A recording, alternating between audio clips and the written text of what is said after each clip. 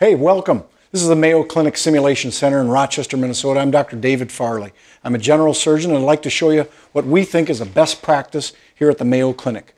What we're pretty good at is evaluating surgical residents very inexpensively. To tell you what I mean, I'm going to come in here and show you that we have a variety of tests and basically have about 25 different tests depending if you're an intern or a chief or a PGY3, how we can assess your skills.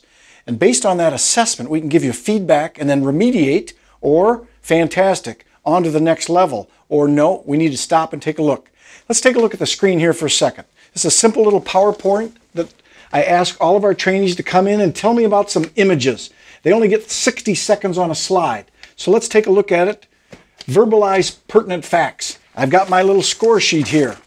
I got about 10 or 12 things that I'd like to have written down. I sit in the clipboard behind them and they verbalize and say, PA chest x-ray performed April 21st, 2004. Trachea looks midline, clavicles are normal, yada, yada, yada. Can they see that there's a lung cancer in the left lung? It's a variety of things I'm looking for with this x-ray. Here comes a CT scan. For those x-ray experts can tell, yep, that's the liver, but it's also segment 5. I'm looking for great answers from great trainees. Do they know that that's the descending colon? This is a simple little PowerPoint, but there is no subjectivity here. That is the stomach. It's either yes or no. And at the end of a training session for imaging, I can tell you this person really knows what they're talking about. The other two, not so much. I'd like you to take you to the next station. Let's see what they have to offer there. So the Sim Center's got 10,000 square feet and we've got a bunch of different rooms. And in this room, a couple simplistic things. I've got a blank piece of paper that basically asks the trainee to draw the pelvic anatomy. So this is the bladder. Aha. If I was taking this test, what does the bladder look like from the umbilicus? And I got to draw the anatomy like I was doing a TEP hernia repair. So the pubis is there. The rectus abdominis muscles are there. There must be iliac vein, external iliac artery, epigastric vessels, artery and vein, usually two veins. This would be Hesselbach's triangle here. This is where a direct hernia would be. Might be an obturator hernia there. To the left, we might have a direct hernia through the internal ring. What goes through that? Well, the vas deferens goes through that. The gonadal vein goes through that. We've got some nerves out here. We got the lateral femoral cutaneous, the ilioinguinal, and the genital branch of the genitofemoral goes through there. Transversalis muscle. That's 25. If they can do that, that's a top-notch score. I'm impressed. They only get a couple minutes to draw that. Time to move on. This funny little piece of fabric costs about three cents. Takes us about a minute to make. This is a skin, an ellipse of uh, skin is out of there, and this is a mastectomy, a simple mastectomy. This is a completed little project. What they're asked to do is make an incision and insert a drain. We have our own particular ways of doing things here at the Mayo Clinic. Cutting a certain edge, putting it in a certain depth, I can see there's two dots. What do those two dots mean? Ah, 10 centimeters to the first hole. We want those holes inside. So there's a lot of different ways to do things, but we have our own scoring system. Can they do it right? We've got the scoring thing. And ideally, what we'd like to do over the course of time now is they understand the scoring system. They have the gadgetry to do this. They could practice this at home. We also have on Blackboard or online videos that tell them exactly what to do. Let's check the next station out.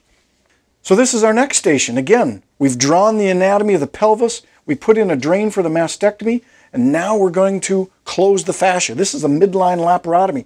Looks like it's been completed. How far back do you take your bites? How far do you advance with each bites? We have a measuring tool, and it's a simple little thing. Again, it's not too tough. It's a check mark. It's a box.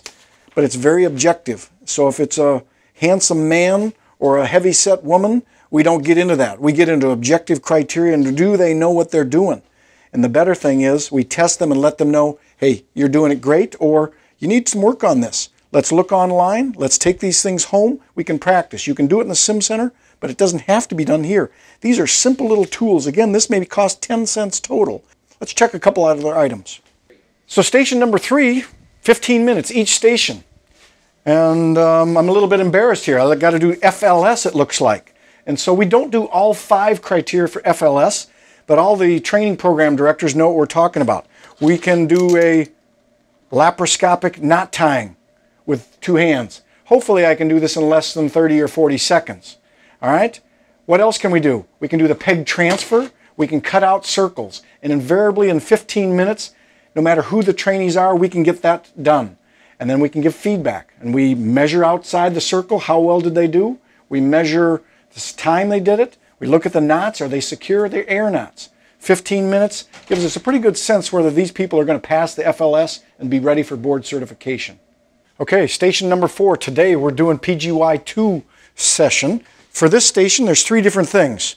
Got a simple little piece of fabric. I go to Jo-Ann Fabric, but there's a lot of other places, Walmart and others that sell it. Here they've got to do five things, I think. They got to do an interrupted stitch, they got to do a figure of eight, they got to do a sub Q, and uh, they got to go to a vertical mattress. I can see that, and we grade them. We got some simple criteria, simple scores, 10 points. Most of our trainees that are PGY2s get an 8, 9, or a 10 on this. They know what they're doing. This takes about 60 seconds, a couple minutes for them to do. 15 minutes, we got to be done. And I'm going to move over here, and what they're going to do here is make an incision, find the top of the rib, pop the rib in, put the chest tube in, and then either sew it in place or just putting the chest tube in and tell us what they're doing every level is different. When we're interns, I make them sew it in and do the whole thing.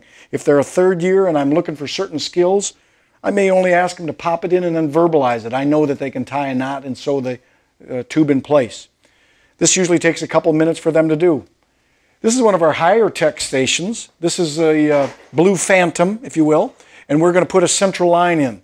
Um, Dr. Rouse here is showing me that he's got the probe on the skin and putting the needle in, and we've got 10 point criteria. He's supposed to talk it through, tell me what's uh, relevant. He's got to make sure the vessels are oriented. He's got to carefully put the needle in and not back wall through the right IJ.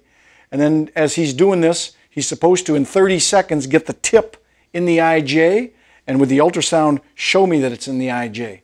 So this is kind of a demanding, quick hitting thing that at the end of 15 minutes, I know what they're doing. I got one more station to show you.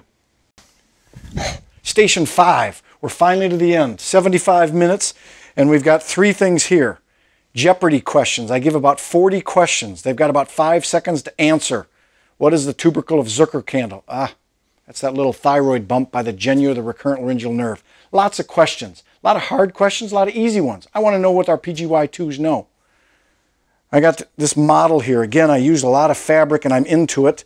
And I asked them demonstrate the anatomy of the human groin in a male.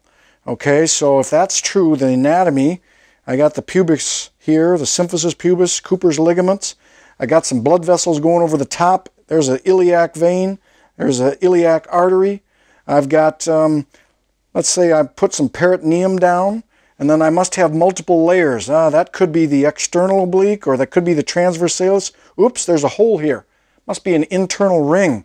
Oh, that's right. There's a spermatic cord that's going to need to go through that. Does it go through the internal, the external, the transversalis? How do I put these things together? Then there's fatty tissue, there's Scarpa's fascia, there's preperitoneal or Camper's fascia, and then maybe there's skin on top. How'd I do? Probably not so good. Our scoring system would suggest you need to use all of these other tools here and let us know where the anterior superior iliac spine is, epigastric vessels, and the like. Simple little system. I send out a note to the trainees. This is what I'm looking for. You get a point for saying this each time. Last thing over here, this is our fine needle aspiration demonstration. Looks like I got a man with a chin. There's the sternal notch. I got two collarbones. Aha, I feel the collarbone there. There's a mass. Son of a gun. I need to do an FNA. We've got a simple little criteria. I want to palpate this. I want to sterilize it and feel it. Tell the patient it's a skinny little needle. We're not going to numb it up stick it into the node, aspirate back, and a bunch of criteria.